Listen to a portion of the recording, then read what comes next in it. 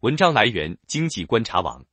七月二十二日，一则九零后无论男女都得六十五岁退休的消息在网络流传，引起广泛关注。许多网友将此消息与七月二十一日发布的中共中央关于进一步全面深化改革、推进中国式现代化的决定（下称决定）相关联。实际上，决定仅提出按照自愿。弹性原则，稳妥有序推进渐进式延迟法定退休年龄改革，并未有具体的延迟退休方案。网传内容并非官方出台的政策。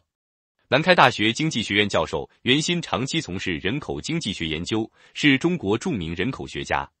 他告诉经济观察网，延迟退休早已被写入“十四五”规划，在决定这样的纲领性文件之下，预计相关部门很快将会公布具体的延迟退休方案。袁鑫认为，当前的退休年龄制度早已不符合人口发展和社会经济发展的现实境况。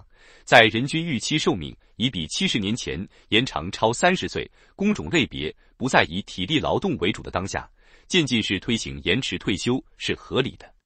实际上，全球多数发达国家的退休年龄均在六十五岁及以上。他表示，中国已经进入中度老龄社会，未来还将进入重度老龄社会。所有人都应接受适应这个新常态。专访：经济观察网二十届三中全会决定提出，按照自愿弹性原则，稳妥有序推进渐进式延迟法定退休年龄改革，应该如何解读？原心自愿是指在现在规定的法定退休年龄和以后延迟的法定退休年龄之间，你可以自愿的选择。弹性是在工作地点。工作时间、工作性质、工作种类，甚至工资待遇方面具有一定的灵活性。为什么要渐进式改革？社会政策的出台，最基本的原则就是对整个社会的影响和波动越小越好。如果在一年之内把退休年龄从六十岁以下调到六十二岁，这意味着劳动市场会突然增加三四千万人，就业岗位能不能供给？所以，劳动力数量的补充应该是一个渐进的过程。这样对整个社会的就业制度安排来说，冲击是平缓的、平和的。从个体角度来说，应该让即将退休人员感觉延迟退休是一个缓慢的过程，这样才容易被更多人接受。假如一个人本应明年一月一日退休，政策要求延迟两个月退休，这个人容易接受；但如果突然告诉他两年以后才能退休，他可能就会觉得非常突兀。对不同年龄段的人，应该一点点地往前递进。例如，规定一九六四年出生的人延迟两个月退休，一九六五年出生的人延迟四个月退休。后面的人实际是在接受了前人的退休时间后再延迟两个月，冲击也就变小了。经济观察网为什么有必要延迟退休？原心道理很简单，现行的退休年龄是七十多年前制定的，当时中国人均预期寿命只有四十五岁左右。而现在已经达到了七十八点二岁，我们已经进入长寿时代，八零后、九零后都能活到八十岁以上了，退休年龄还停留在平均只能活四五十岁的时代，当然不合理。过去七十多年，我们的退休年龄没有发生本质性变化，这不符合人口发展和经济社会发展的现实情况。其次，七十多年前的退休年龄也是根据当时的经济环境制定的。在新中国成立的早期阶段，几乎所有人都是进行重体力劳动，机械化程度非常低，只能拼体力。例如，那时修公路、修铁路、修水利都是肩扛手拉的，一个六十多岁的人当然不可能扛得动石头、挥舞铁锹了。但今天，挖掘机、盾构机、架桥机、架轨机等现代化大型机器，只要会按按钮就可以了。也就是说。劳动场景或者说劳动性质，随着机械化、科技化、智能化的发展，对体力的要求在下降。这实际上放宽了老年人就业的条件，体现了劳动的年龄包容性。第三，随着国家教育事业突飞猛进的发展，整体人群受教育年限不断延长，进入劳动力市场的年龄在不断推迟。如果不延迟退休，那意味着什么？退休后的余寿在延长，但生命周期当中用来创造财富的时间却在缩短。受教育程度越高，人生当中用来做贡献的时间越短。这样的人生轨迹，我觉得是非常不合理的。对博士生来说，按照现在的学制，七岁上学，用二十三年来读书达到博士学位，三十岁参加工作。女性五十五岁退休，干二十五年；男性六十岁退休，干三十年。女性五十五岁退休后的平均余寿有二十八年至二十九年，男性六十岁退休后的余寿是二十年至二十一年。换句话说，接受了二十三年的教育，用二十五年至三十年来创造财富，最后养老时间是二十一年至二十九年，这样一个比例关系合适吗？在寿命延长到现在这个程度以后，适当的延迟退休年龄，体现受教育的价值、长寿的价值，不是挺好的一件事吗？经济观察网具体的延迟退休方案近期有可能出台吗？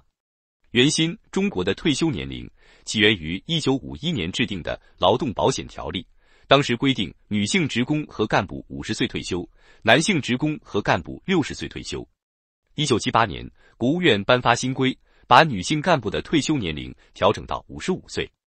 也有一部分单位可以根据自身情况调整退休年龄，主要是指高等院校、科研院所。医院等，实际上这些地方陆陆续续在延迟退休，很多大学教授现在都是六十五岁才退休。但是，延迟退休作为一项正式的制度，是在二零一三年中共中央关于全面深化改革若干重大问题的决定中被提出的。原文是研究制定渐进式延迟退休年龄政策。到二零二一年，国家的“十四五”规划明确提出，按照小步调整、弹性实施、分类推进。统筹兼顾的原则，逐步延迟法定退休年龄，促进人力资源充分利用。写入“十四五”规划就意味着它已经变成一个要落实的具体任务。当然，在“十四五”时期，二零二一年至二零二五年就应该落地了。经济观察网有人认为，推行延迟退休政策是因为养老金紧张，原心不可能。有研究指出，养老保险金到二零三零年左右就会入不敷出。延不延迟退休这个问题都会到来，只是早一点晚一点的事。养老金为什么会入不敷出？这是制度设计和人口结构的变化之间的矛盾造成的，必然会入不敷出。全世界都一样，全球的养老保险制度都是在年轻型和成年型社会基础上建立的。那个时代缴费的人多，领费的人少，当然具有持续性。随着老龄化越来越加剧。领费的人越来越多，缴费的人却越来越少，当然就不可持续。所以，基本养老保险制度的深化改革很重要。政府会有修正政策去解决未来养老保险金紧张的问题。其实，在“十四五”规划中已经写到，完善划转国有资本，充实社保基金制度，优化做强社会保障战略储备基金发展多层次、多支柱养老保险体系，提高企业年金覆盖率，规范发展第三支柱养老保险。经济观察网有人对延迟退休比较难接受。原先在工业革命以前，全世界的人均预期寿命在三十岁左右，发达国家大概在三十五岁左右。人类寿命的延长，也就是过去二百年的事儿。现在发达国家的人均预期寿命到了七十九岁至八十岁，中国离发达国家的水平越来越近了。长寿化的同时，很多国家都在经历少子化，发达国家也是率先开始少子化的。二十世纪五十年代，发达国家的生育率基本已经降到二点五个孩子左右了。现在，发达国家平均生育率大概是一点六左右。新中国成立以前，我们的人均预期寿命是三十五岁，现在是七十八点二岁。二十世纪五六十年代，我们平均生六个孩子，现在平均生一点三个孩子以下。在这个过程中，我们和发达国家的共性是，大家都在长寿化、少子化的路上。但我们的个性是比发达国家要跑得快、跑得急。发达国家在应对人口老龄化的过程中，形成一系列准备，比方说退休年龄在不断延后，利用经济优势接受国际移民等等。但是中国人口基数大，靠国际移民来调节我们的人口数量和结构不太现实，所以延迟退休是我们应对人口老龄化的一个可行路径。我们已经身在中度老龄社会。所有人都应该主动去适应，不要再盼望着回到年轻型社会、成年型社会，回不去了。二十世纪五六十年代，在中国的大地上，遍地都是小孩；现在和未来，遍地都是老人。深度老龄社会已然成为新常态，成为未来经济社会发展的底色。建构于年轻型和成年型社会的经济发展体系和社会治理体系，越来越难以适应老龄社会。我们迫切需要一场多维度、深层次、长时期、全面的经济社会是老化转型和改革。经济观察网：其他国家在退休年龄上的规定是怎样的？原薪，绝大多数发达国家的退休年龄在六十五岁左右。同时，有很多国家今年制定新政策，要求未来继续提高退休年龄。比如，美国制定了不同年龄的人渐进式的在现在六十五岁的基础上逐步延长退休年龄。日本基本上是六十五岁到七十岁退休。政府对企业的要求不是一刀切的，企业可以把退休年龄制定在七十岁以上，但是必须为就业者提供基本的保障。有人说，日本是个无龄退休的国家。另外，绝大多数国家男女是同龄退休的。我们国家现行的男女差别性退休制度，有人认为是性别歧视，其实当时的初衷是设置一个性别照顾的制度。因为二十世纪五六十年代，多数人都在从事体力劳动，并且家庭平均生育四至六个孩子，女性要兼顾家庭和工作，所以可以早点退休。现在，随着女性受教育条件的改善，就业和收入条件的改善。男女在很多工作上不存在体力上的差异，走向男女同龄退休也具有合理性。